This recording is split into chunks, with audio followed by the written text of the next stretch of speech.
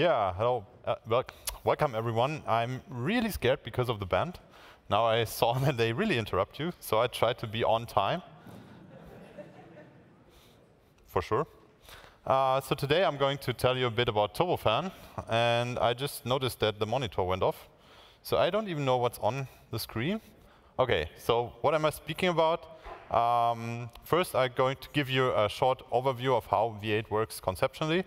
Then I'm going to introduce Turbofan, the thing that we've been working on for four years now, and especially the optimizing compiler inside of Turbofan. And then we're going to look at the performance results that we got in the last four years. So uh, how does V8 work on a high level? Um, I just stole these slides from my colleague Addy Osmani, and because I cannot draw them, but he, he can. So whenever you run uh, some JavaScript inside of Node or inside of Chrome, then essentially this is what happens. V8 takes your JavaScript and runs it through the parser and eventually constructs something that we call an abstract syntax tree, which is a tree representation of your program. And we then give that representation to the interpreter, and that turns it into bytecode and runs it. And while we execute the bytecode, um, we collect feedback about the types of objects we see and the values. And eventually, when functions are considered hot, we send it to Turbofan, and Turbofan emits um, very good optimized code based on the feedback that we have seen so far. So what exactly is Turbofan? Uh, Turbofan on the basis is just uh, code generation architecture. So we use this to generate almost all the code that we use in V8 nowadays. It, it's also an optimizing compiler and we used it to replace the agent crankshaft compiler that was released in 2010. So by now we have a modern compiler because crankshaft was suffering quite a bit. It never supported the full language and not even speaking about ES6 or newer features, whereas Turbofan supports the full language. There's nothing on which Turbofan would uh, bail out. And uh, the most important bit here in Turbofan, it gives you predictable performance. So you no longer have these performance cliffs that we used to have with Crankshaft. So let's start with the important bit. Turbofan is launched. So most of you are probably already using Turbofan because we launched it in Chrome 59, and it's also in Node 8 nowadays. Um, from the architectural point of view, as I said, Turbofan provides a code generation architecture that we use for almost everything in V8 now. So we have a um, rather similar uh, compiler backend that you see in other VMs as well. Um, the backend is responsible for generating the appropriate code for all the platforms that we support, which are currently eight platforms.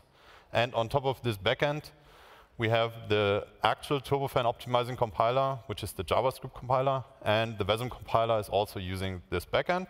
And on the other side, we have a C++ domain-specific language that we use to generate, for example, the interpreter, but also uh, all the built-in operations, like all the array built-ins, string built-ins, proxy, um, promises, whatever. Anything you use in a language is now mostly based on Turbofan.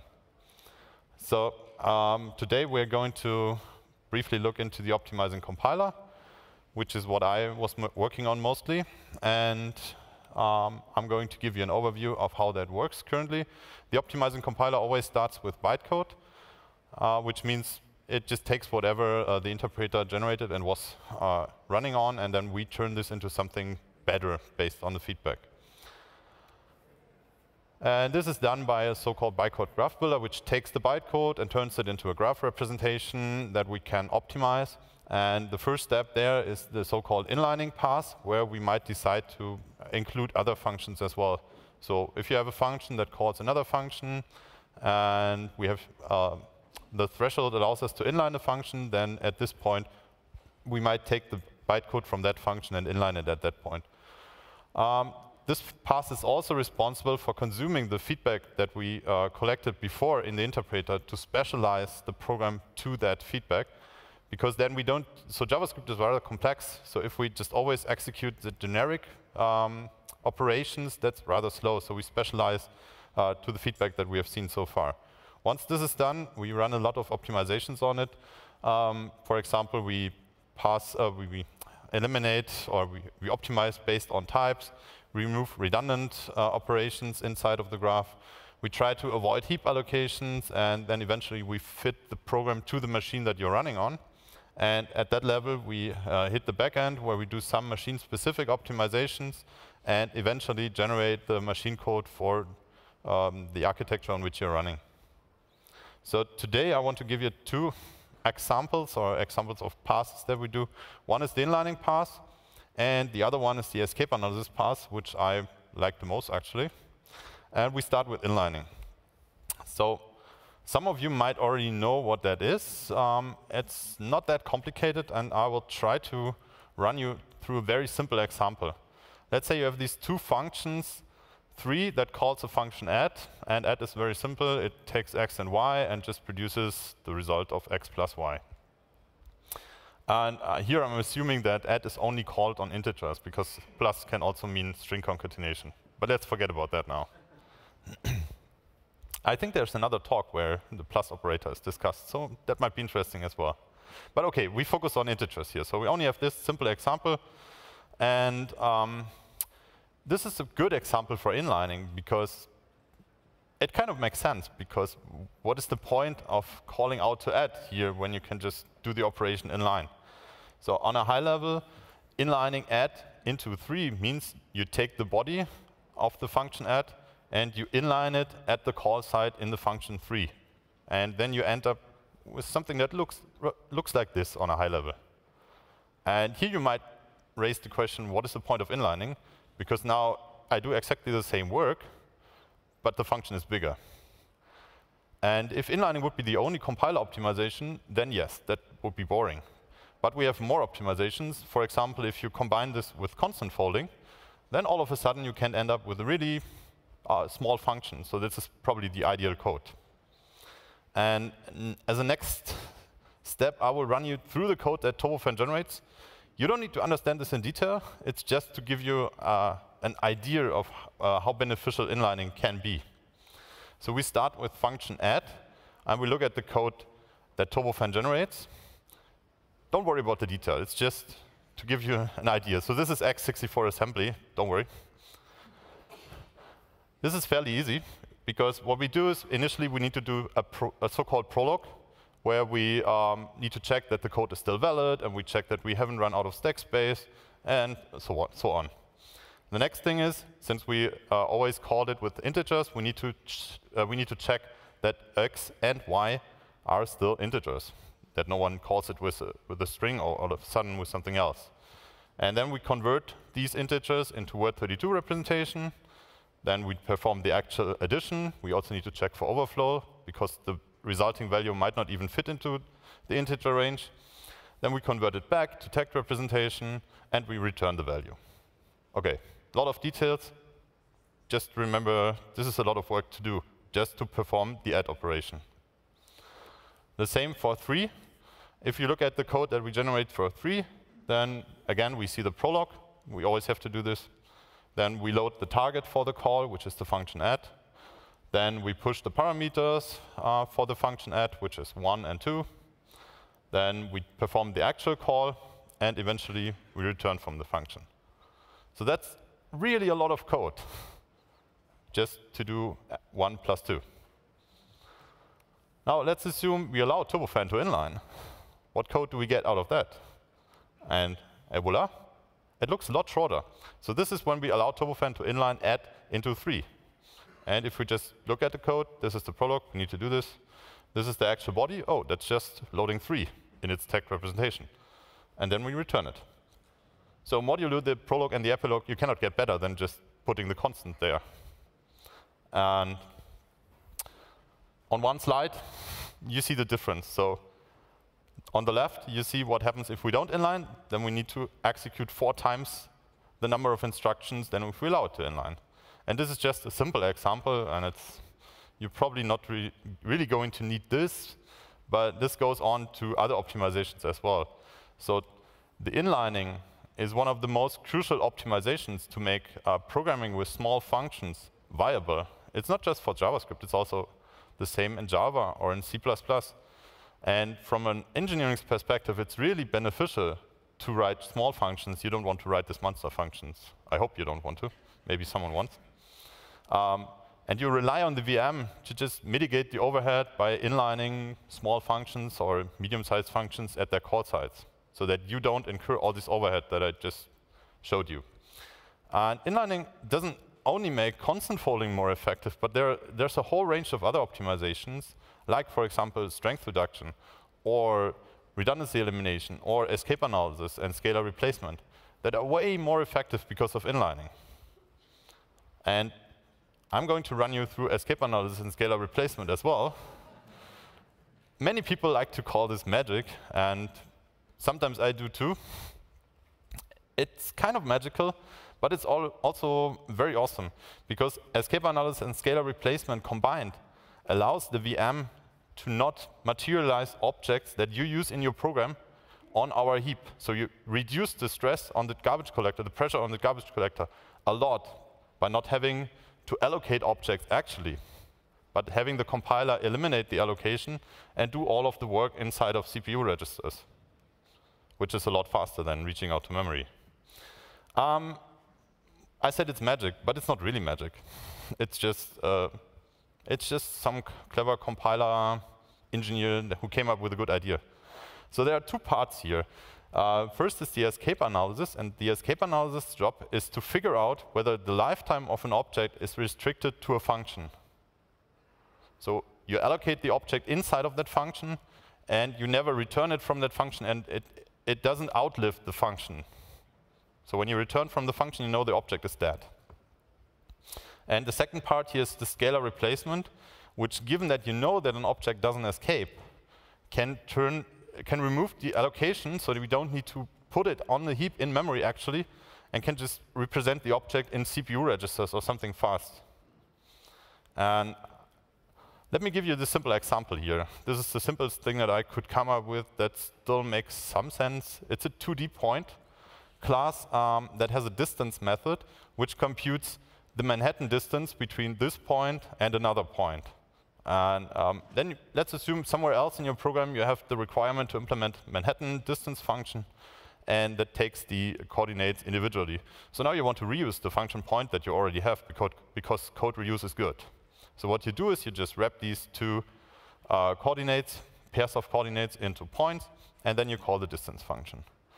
As we already learned before, the VM can help you here by just inlining at least uh, um, small functions, in this case the two calls to the point constructor can be inline at the call sites.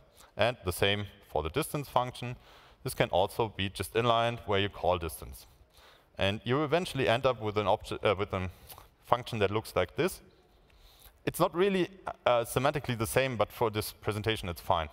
So you just have the two object allocations inside of the uh, function and then the inlined um, distance method. So if we look at this and see what escape analysis does. As I said, escape analysis the, is uh, trying to figure out whether object's lifetime is restricted to the function invocation. So for that, we need to figure out whether these objects are actually allocated inside and all uses of the object don't leak the object anywhere. So if you look at this, for example, in A, then we see A is allocated inside, yeah. And uh, the only uses of A access the fields that we know are on the object. So when we return from this Manhattan inline function, we know no one can have a reference to A anymore. It's all local. And the same goes for B. B is allocated, and we only access the two known fields of B. So this gives us very oversimplified conditions for how this would work. Uh, the rule is always it has to be allocated inside, after inlining. We run the escape analysis after inlining, so you don't need to write the code this way. Our inlining will already make it such that the allocations are inside. And ideally, all uses should be property accesses of fields that are known to be on the object. Um, so how does scalar replacement work on top?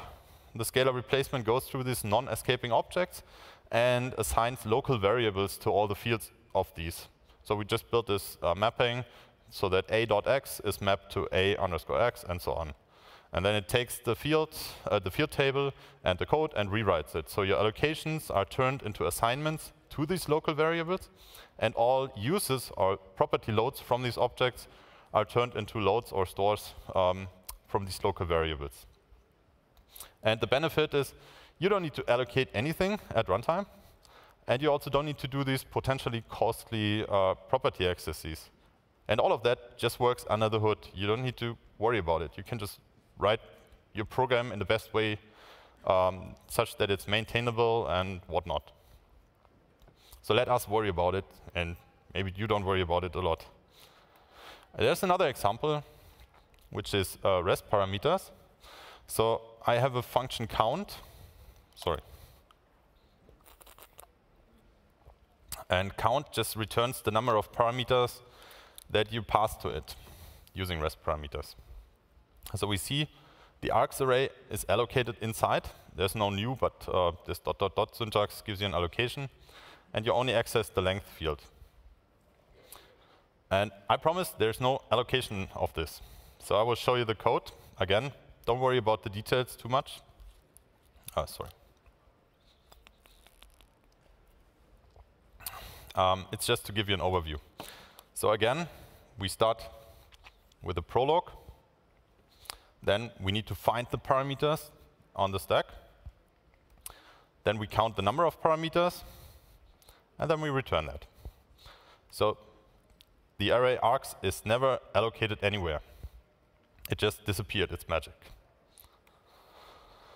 Um, in summary, what escape analysis and scalar replacement gives you, it can greatly reduce the pressure on the garbage collector because it has to do less work.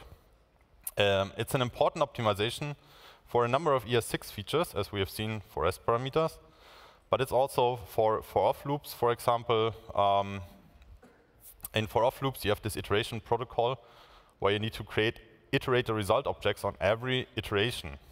So depending on what you iterate, that's quite a lot of overhead that we can just remove under the hood. And similar for destructuring. It makes other optimizations more powerful. One of this is constant folding, um, but also other optimizations like repre representation selection and instruction selection are a lot more powerful because of the escape analysis. So on a high level, what does Turbofan give you? What we try to accomplish with Turbofan is that you have predictable performance, that you can rely on the VM to not just fall off some performance cliff arbitrarily. This is one of my favorite examples. This was a bug reported end of last year. And it's so, oh, okay. I will run you through this. So there's just an empty loop, and you take the time before and after. And in one example, you just add a constant that you don't use after the loop. So that should have the same performance. But in Crankshaft, when you run this with uh, like Node 7 or Chrome 58, then you get a pretty significant 3x difference for no obvious reasons. Um, I don't even remember the reasons for this. I have to look it up again. It was pretty subtle and totally non-obvious. And this is one thing that we wanted to fix with Turbofan, so, so that you can just rely on uh, the VM behaving not insane if you just change something. The good thing is I don't need to worry about this anymore. And you don't need to worry either, because we just removed crankshaft. So you will never hit this problem again.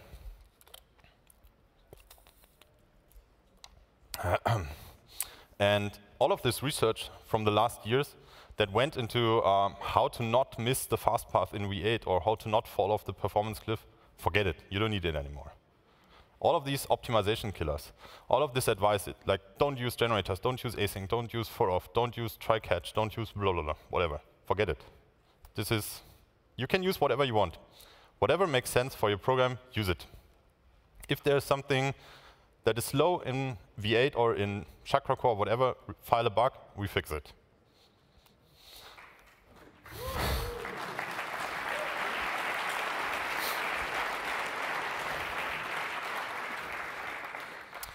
But this is not all. So there, there was a lot of focus on the optimizing compiler, and yeah, it, it's cool to work on the optimizing compiler.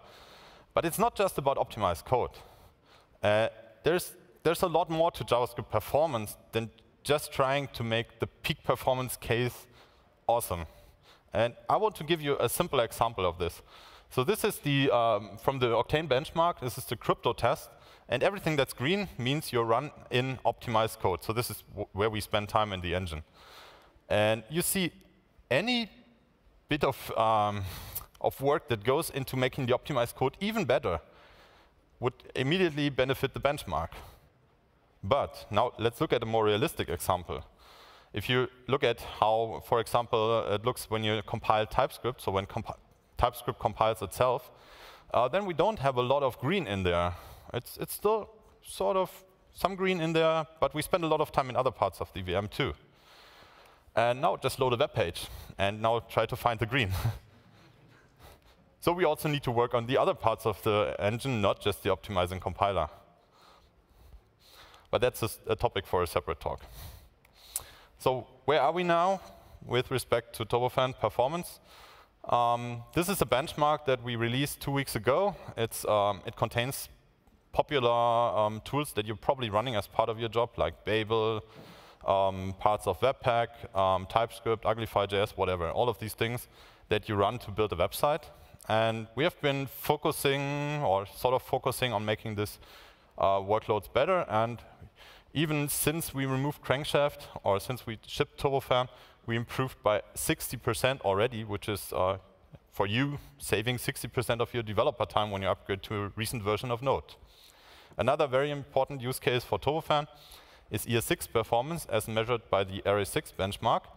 And you can see that we improved since, um, since May this year, we improved on this benchmark by 1.7x, which is quite remarkable. And here comes my favorite. Uh, Alexander posted this earlier this year. Alexander is also giving a talk. Hi, Alexander. Um, this is just Turbofan in one picture. So this is when they up updated to Node 8.3, which was the first Node version that contains Turbofan. And you see before the performance is a bit shaky and not really predictable, not consistent. And yeah, you can probably tell when they updated. and all of a sudden, it's flat, consistent, easy. This is the thing that we really wanted for Turbofan, to give you predictable performance that you can rely on. So my takeaway, takeaways from this talk don't worry too much about the performance details. Really focus on writing good code that you can maintain. Write idiomatic JavaScript. Don't do these uh, hacks anymore to get JavaScript peak performance somewhere. And if you find something that looks odd, file a bug, file a bug to Chrome, file a bug to Edge, whatever browser, and we can look into it. If we don't know that there's a problem, then we cannot fix it. If we know that there's a problem and we cannot fix it, okay, that's another discussion. Um, we also have a Twitter account now, so if you're interested in V8 development, it's at V8JS. Be sure to get the right one, so I um, urge you to use this one and not this one, unless you're interested in the juice. Also notice that we have more followers. and that's it for me. Uh, I have an Ask Me Anything tomorrow at 4 p.m., so if you're interested to talk about V8 or JavaScript performance, then just find me there. Thanks.